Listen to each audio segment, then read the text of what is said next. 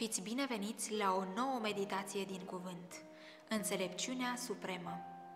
Dar Dumnezeu a ales lucrurile nebune ale lumii ca să facă de rușine pe cele înțelepte.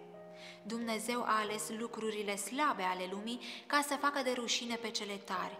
Și Dumnezeu a ales lucrurile josnice ale lumii și lucrurile disprețuite, ba încă lucrurile care nu sunt, ca să nimicească pe cele ce sunt, pentru ca nimeni să nu se laude înaintea lui Dumnezeu.